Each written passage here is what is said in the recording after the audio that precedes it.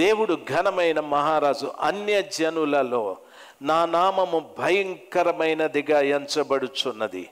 సైన్యములకు అధిపతి యొగు యహోవా సెలవిచ్చుచున్నాడు.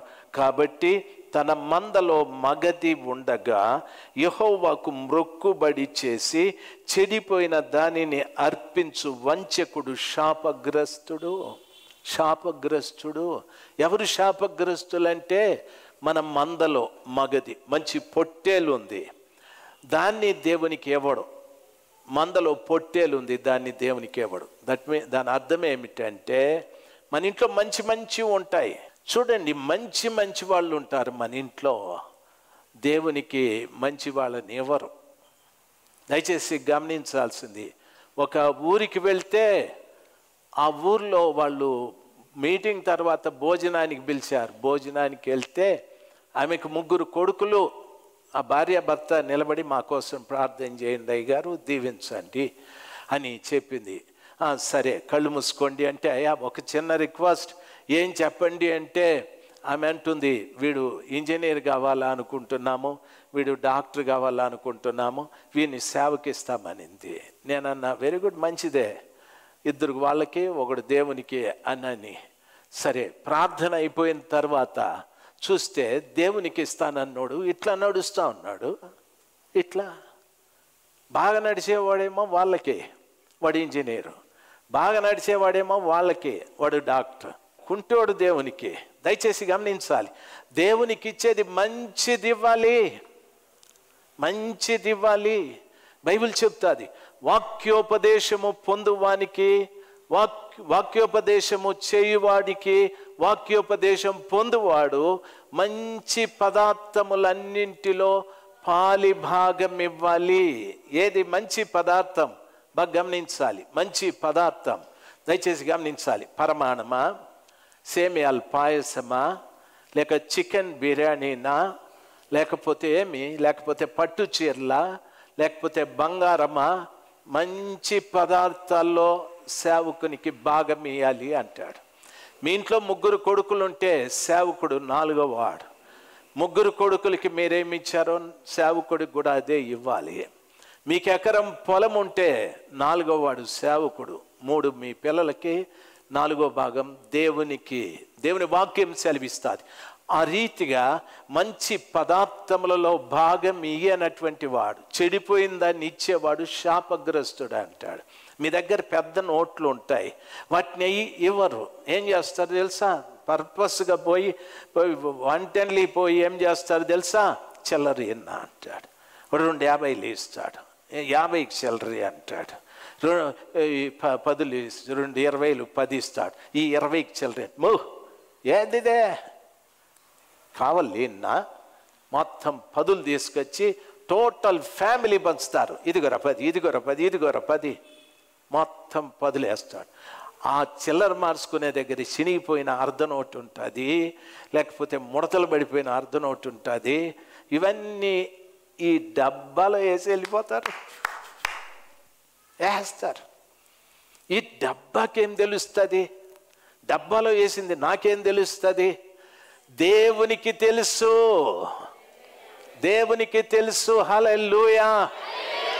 ఓసారి యేసుప్రభుల వారు బోధిస్తూ బోధిస్తూ ఆయన కానుక పెట్టే వైపు చూస్తూ ఉండగా అని వాక్యం సెలవిస్తారు. ఆయన కూడా బలివోడురా బాబా. ఆయన బోధించిన తర్వాత కానుక పెట్టుతాడు చూడండి నేను ఎప్పుడు కానుక పెట్టుతాడు చూడలే. నా ప్రభువు చూస్తూ ఉన్నాడు. కానుక పెట్టేటట్టు చూస్తే ఒకరు మూటలు తీసుకొచ్చి వేస్తూ ఉన్నారు. ఓ డబ్బులు అట్లా వేస్తాను. ఒక ఆమె భయపడుతూ భయపడుతూ భయపడుతూ రెండే రెండు కాసులుంటే ఎవరైనా చూస్తా తీసుకొచ్చి పడేసింది. ప్రభు అంటాడు హలో వినండి హలో వినండి. కానుక వేసే వాళ్ళందరూ వినండి. మీరు చాలా డబ్బులు ఇచ్చారు. ఈ పేద విధవరాలు తన జీవనం అంతా ఇచ్చేసేది ఈ రెండు కాసులు తప్ప ఈమె దగ్గర ఏమీ లేదు. నథింగ్ ఏమీ లేదు. ఈ రెండు కాసులు ఇక్కడ వేసి వెళితే ఆమెకి బయట చర్చి బయట వెళ్తే తినటానికి లేదు ఇంకా. తన జీవనం అంతా వేసేసాది హలే ఆ ప్రభు చెప్పింది రెండు కాసులు వేసింది దాంట్లో జీవనం. తన బ్రతుకు తీరువంతా అక్కడ పడేసింది. దేవుని బిడ్డలు బాగా గమనించాలి. దేవునికి ఇచ్చే విషయాల్లో మంచివి ఇవ్వాలి మలాఖీ గారు చెప్తాడు వాడు వంచికుడు. బైబిల్లో చెప్పిన మాట చూడండి. చెడిపోయిన దానిని అర్పించు వంచకుడు శాపగ్రస్తుడు. చెడిపోయిన దానిని అర్పించువాడు వంచకుడు శాపగ్రస్తుడు నాని. కొన్ని సంవత్సరాల క్రిందట పేదలకి మనము క్రిస్మస్కి బట్టలు ఇస్తాం. దయచేసి వినాలి. అయితే ఎందుకో నేను అనౌన్స్ చేశాను. దయచేసి ఎవరైనా పేద బిడ్డలకి బట్టలు ఇచ్చేటట్టుంటే ఇవ్వండి అని ఒక ఇద్దరు ముగ్గురు మూటలు ఎత్తుకొచ్చి పడేసినారు ఆడ. నేను అనుకున్నా ఏమ్రా ఇంత ఉదారమైన వాళ్ళు ఉన్నారని. అన్ని సెకండ్ హ్యాండ్ సూదికి దారానికి దొరకని వెతకొచ్చి ఆడేసేసినారు. మీకు అర్థమైందా? వీళ్ళ దాన ధర్మాలు ఖాళీ నాశనం అయిపోనా అని. ఇంకా దాన్ని మోసుకొని నేను తిప్పల్లో పడేసే పోవాల్సి వచ్చింది. నా డ్యూటీ పనికిరాని తిప్పల్లో వేసే డ్యూటీ పెట్టినారు వాళ్ళు నాకు. ఛీ దరిద్రం. దేవుడికి ఇచ్చేటప్పుడు మంచివి. పనికిరానివి ఇస్తే వాడు వంచకుడు అంటాడు. వంచకుడు అంటే అర్థం ఏమిటో తెలుసా?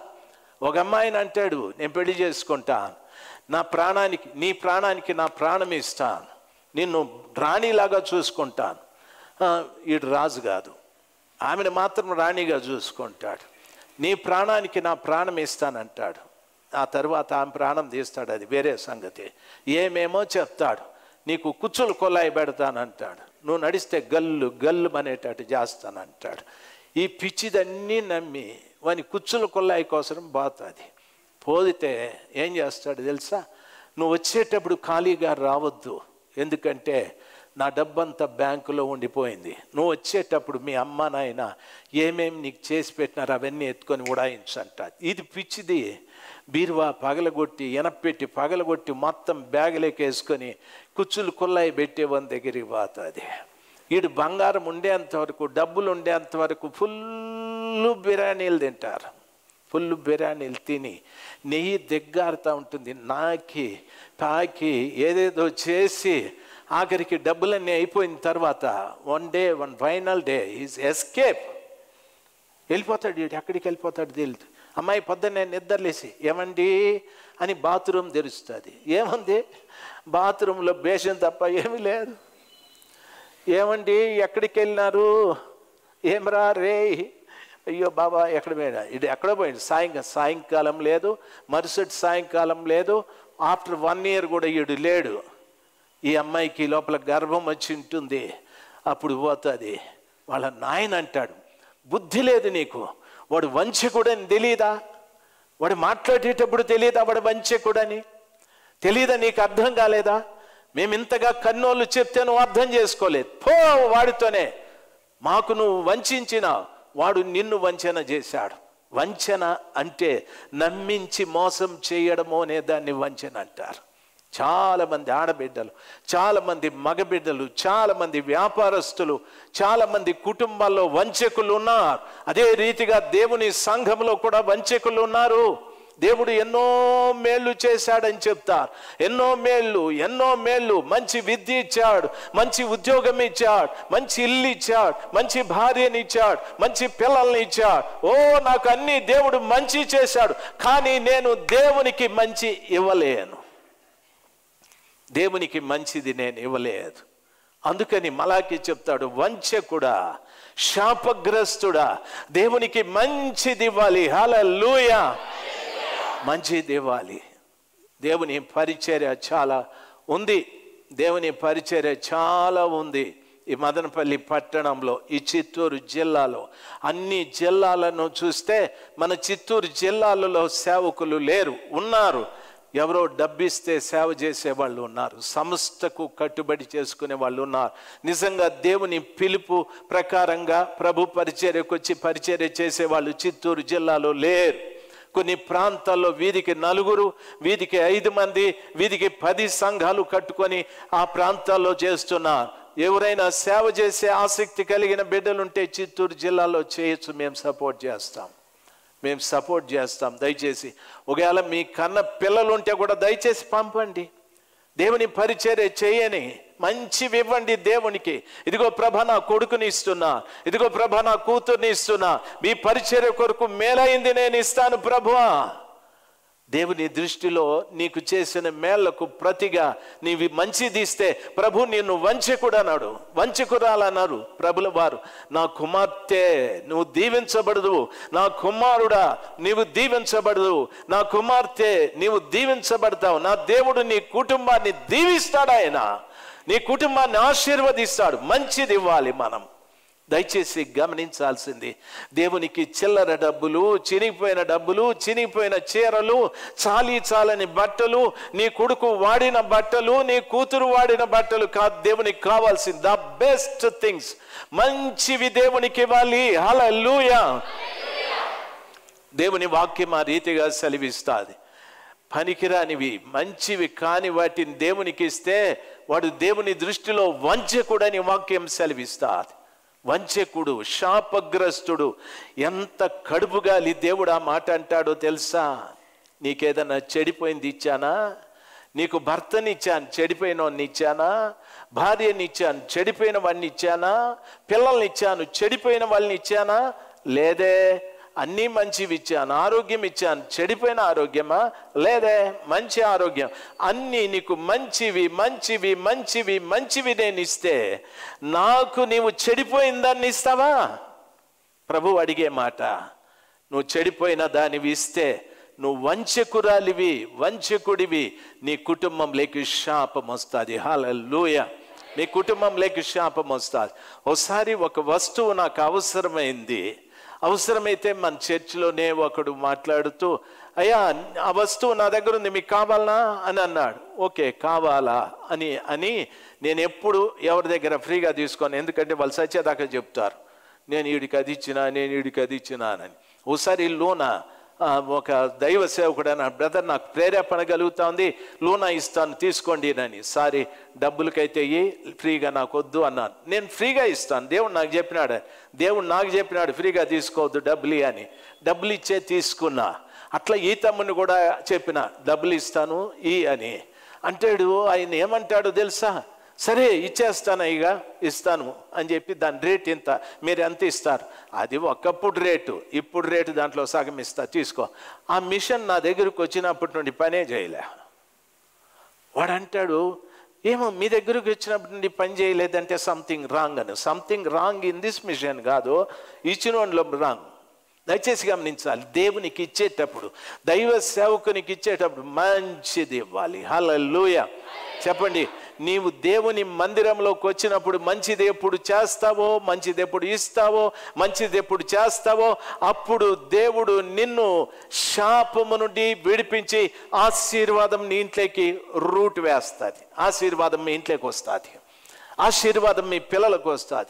ఆశీర్వాదం మీ భార్యకు వస్తుంది. దేవుని వాక్యం ఆ రీతిగా సెలవిస్తా. దేవుని యొక్క ఆశీర్వాదం పొందుకొనే ప్రతి ఒక్క వ్యక్తి కూడా దేవుని దృష్టిలో వంచకుడుగా నిలబడకూడదు. హలే వాక్యం సెలవిస్తుంది ఆ రీతిగా దేవుని బిడ్డలు. మీరు బజారుకి వెళ్తే బట్టలు కొనేటప్పుడు ఇది ఐదు వందలు అది ఆరు వందలు అది ఎనిమిది వందలు అంటాడు. మీరు ఐదు వందల సాలని రారు. ఎనిమిది వందల దగ్గర పోయి నిలబడి దాన్ని ఇట్లా పెరికి ఇట్లా అని ఏదేదో దాని నై దాని దాని మే మేలును చూసి అంటావు ఐదు వందలకి ఇస్తావా? ఎనిమిది వందల ఐదు వందలకి ఇస్తావా? మంచి దాన్ని నీ మనసులో ఉన్న రేటుతో బేరమాడతావు వాడు అంటాడు ఏమ్మా ఒకటేసారి మూడు వందలు తగ్గిస్తామా? ఏముందండి? పక్క షాపుకి పోయిచ్చినాను ఉట్టి బొంకడమే. పక్క షాపుకి పోయినాను. నాలుగు వందలకే ఇస్తానన్నారు. నేను ఇంకా వంద ఎక్కువ ఇస్తా ఉన్నాను వాడిని మతిపోతుంది వాని పిల్లకి పైకి లేస్తుంది. దయచేసి వినాలి. శాపగ్రస్తులు బొంకుతారు. అబద్ధాలు చెప్తారు.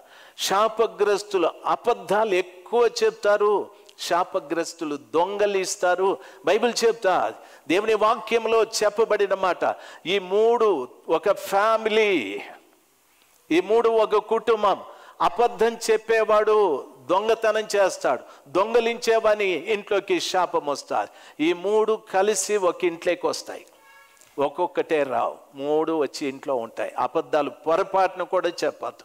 అబద్ధం పొరపాటును కూడా చెప్పద్దు. అబద్ధం కనీసం నీ భర్తకు చెప్పదు అబద్ధం కనీసం నీ పిల్లలకు కూడా చెప్పదు అబద్ధం వచ్చిందా?